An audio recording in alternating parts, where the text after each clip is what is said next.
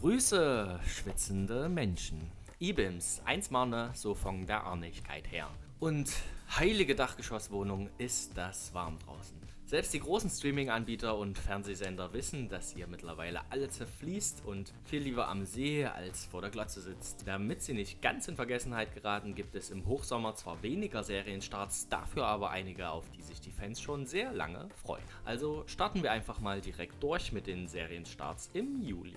Und zwar direkt mit einer der abgedrehtesten und visuell beeindruckendsten Serien der letzten Jahre. Am 3. Juli startet Legion mit der dritten und voraussichtlich letzten Staffel hierzulande auf Sky. Für alle, die mit der Serie noch gar nichts anfangen können, es geht um David Heller, der in jungen Jahren mit Schizophrenie diagnostiziert wurde und seitdem ein Patient in verschiedenen psychiatrischen Kliniken war. Doch als er eines Tages auf die neue Patientin Sid trifft, ist er mit der Möglichkeit konfrontiert, dass die Stimmen, die er hört, real sein könnten. Die Serie spielt prinzipiell im X-Men-Universum, funktioniert aber auch für Zuschauer, die bisher noch keinen einzigen Superheldenfilm gesehen haben.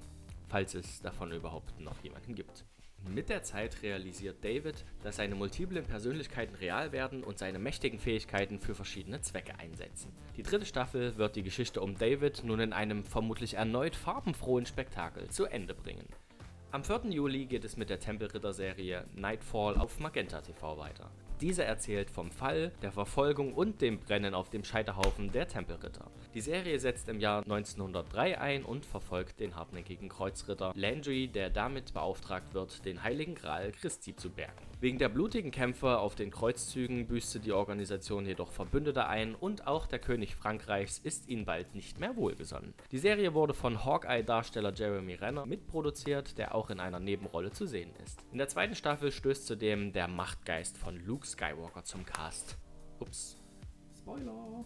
Auch Netflix versucht alles, um euch bei dem Wetter vor den Bildschirm zu locken. Und mit der dritten Staffel Stranger Things haben sie dabei wohl auch gar nicht mal so schlechte Karten. Zur Serie an sich muss ich euch wohl nicht mehr allzu viel erzählen. Abgesehen von Gabby wartet ihr ja alle schon darauf, dass es endlich wieder ins Upside Down geht. Anders als in den beiden bisherigen Staffeln ist aber nun der Sommer in Hawkins eingekehrt und neben den bekannten Gesichtern mit 80er Jahre Frisuren kommen auch ein paar neue Gesichter mit 80er Jahre Frisuren dazu. Unter anderem der egozentrische Bürgermeister, ein Reporter mit krankem Sinn für Humor und Lukas kleine Schwester, die bisher nur kurze Auftritte hatte. Natürlich darf auch ein neues Monster nicht fehlen und statt den Ghostbusters dürfte es in dieser Staffel eine Menge Zurück in die Zukunft Anspielung geben, der im Sommer 1985 in die amerikanischen Kinos kam.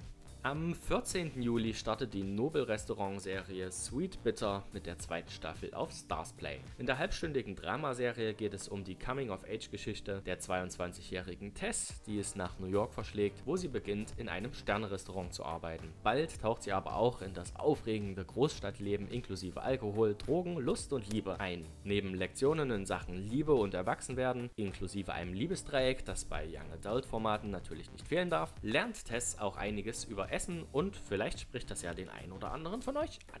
Falls Flo und Mira davon aber noch nicht so richtig überzeugt sind, könnt ihr euch ab dem 19. Juli wieder voll in die hochgelobte Netflix-Serie Haus des Geldes werfen. In der dritten Staffel wird den Ganoven wieder mal richtig zugesetzt, denn der Ruhestand hält nicht lange an. Ein Mitglied wird von der Polizei geschnappt und an einem unbekannten Ort festgehalten. Der Professor muss also die Bande zusammentrommeln, um einen Ausbruch zu planen. Haus des Geldes ist laut Netflix übrigens die international meistgeschaute Netflix-Serie, die nicht aus den USA stammt. Am gleichen Tag geht es mit Public Enemy auf Sky weiter. In der belgischen Dramaserie wird ein verurteilter Kindermörder nach 20 Jahren Haft entlassen und soll den Rest seiner Strafe auf Bewährung in einem Kloster in seiner Heimatstadt absetzen. Merkwürdigerweise sind die Anwohner alles andere als begeistert und wie sollte es anders sein, verschwindet kurze Zeit später plötzlich ein kleines Mädchen. Der Dorfpolizist Michael soll mit der traumatisierten Polizistin Chloe, die sich im Fall auskennt, für Aufklärung sorgen, ehe die Bürger die Justiz in die eigenen Hände nehmen. Falls ihr es weniger bodenständig mögt und lieber mehr Weltraum-Sci-Fi sehen wollt, steht Another Life für euch ab dem 25. Juli auf Netflix bereit. Bisher gibt es weder Trailer noch Promobilder, deswegen habe ich hier die geilsten Animationen rausgesucht, die es überhaupt nur gibt. Im Mittelpunkt von Another Life steht die Astronautin Nico, die auf eine wichtige Mission geschickt wird, um intelligentes außerirdisches Leben zu entdecken. Gemeinsam mit ihrer jungen Crew untersucht Nico ein vermeintliches Alien-Artefakt. Doch wenn man sich mit Aliens einlässt, ist auch die Gefahr nicht weit weg. Ob sie jemals zur Erde zurückkehren kann, müsst ihr wohl selbst herausfinden. Tja, alles hat ein Ende, nur die Wurst hat vier. Und so ergeht es auch Orange is the New Black. Am 26. Juli startet auf Netflix die siebte und gleichzeitig letzte Staffel aus dem Frauengefängnis. Und auch wenn Piper frühzeitig entlassen wurde, wird sie dennoch auch in der letzten Staffel eine große Rolle spielen. Schließlich soll die Serie laut Aussage der Produzentin Tara Herman die ganze Geschichte der Protagonistin erzählen und wie es für sie außerhalb von Litchfield weitergeht. An ihrer Seite dürft ihr dann auch ein Wiedersehen mit Alex und den restlichen Insassen erwarten. Außerdem steht ja immer noch die Frage im Raum, ob Tasty und und Blanca in der siebten Staffel Gerechtigkeit finden werden. Als letzter Tagesordnungspunkt steht euch noch ein Cameo-Auftritt bevor, also Vorhang auf für Ingos irre Trailer-Schau. So, da gucken wir mal den Trailer The Boys. Das großartigste Superhelden-Team, das die Sieht nach Welt einem je gesehen hat, Superhelden die Seven. Serie aus. Kann ich Ihnen sonst noch irgendwie helfen? Die Serie basiert auf einer Comicreihe, die gern als die blutigen Avengers beschrieben wird. Hunderte sterben jährlich als Kollateralschäden durch Suits. Ich muss weiter. Ich muss weiter. Da ist quasi ein Flash dabei. Da kommen wir ins Spiel. Luke Cage.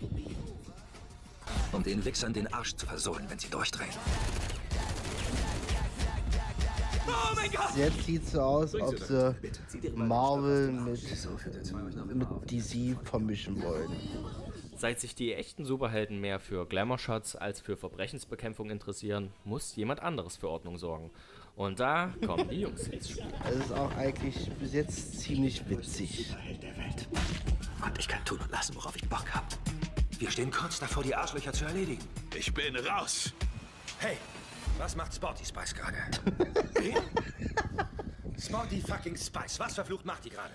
Ich habe keine Ahnung. Und Baby, die schafft's nicht mal auf Seite 6 der Daily Mail. Ihr seht, wenn sie es allein versuchen, dann bringen sie es nicht. Aber wenn man sie zusammen... Da wurde gerade den Spice Girls gefragt und jetzt kommt auch gleich die Musik von den Spice Girls. Besser geht's nicht mehr. Er kann keine Motivationsreden halten. Aber so gar nicht.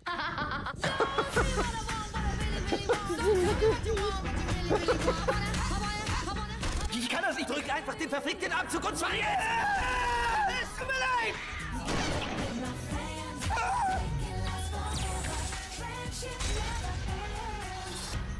Wir sind die Seven, die mächtigsten der Welt, Motherfucker. Bitte, bitte, bitte, nein, bitte! Aber der Rest der Bande... Sorry, aber scheiß auf die Flachwichser. Also sieht verdammt trashig aus und verdammt witzig. Also ich, ich gebe The Boys einen Versuch, kann man sich mal geben. Und ich wünsche euch noch einen schönen Tag. Tschüss. Danke, Inge. Euch allen möchte ich aber noch ein paar kurze Filminfos mit auf den Weg geben, denn Netflix und Co. bauen ja nicht nur ihr Serienrepertoire aus, sondern nehmen auch immer wieder den ein oder anderen Film ins Programm. Besonders hinweisen möchte ich euch dabei auf Baby Driver, der mit der wohl geilsten Symbiose aus Filmmusik und Actionsequenzen aufwarten kann. Ich bin echt froh, dass mich Tim damals mit ins Kino geschleppt hat, denn der Film war wirklich extrem lit. Außerdem nimmt Amazon mit The House That Jack Built einen Drama-Thriller von Lars von Trier ins Programm, der so verstörend war, dass bei den Filmfestspielen in Cannes etliche Menschen den Raum verlassen mussten und danach eine hitzige Diskussion über den Film sowie seinen Macher entbrannte. Etwas seichter geht es dann mit Jonah Hills Regiedebüt mit 90s zu. Die Coming-of-Age-Story des 13-jährigen Stevie beruht zum Teil auf eigenen Erfahrungen in Jonah Hills Kindheit und kam sowohl bei den Kritikern als auch beim Publikum gut an. Alrighty, damit verabschiede auch ich mich wieder. Der See ruft schließlich. Also macht es besser als 98% der Deutschen, die sich lieber beschweren, dass es zu warm ist und nutzt die Sonne und begebt euch an eine Bademöglichkeit in eurer Nähe. Das ist schließlich auch die einzige Möglichkeit, den Pokémon Go-Spielern zu entkommen, die plötzlich wieder aus allen Ecken der Stadt hervorkommen. Los, Shiggy! Aquaknarre!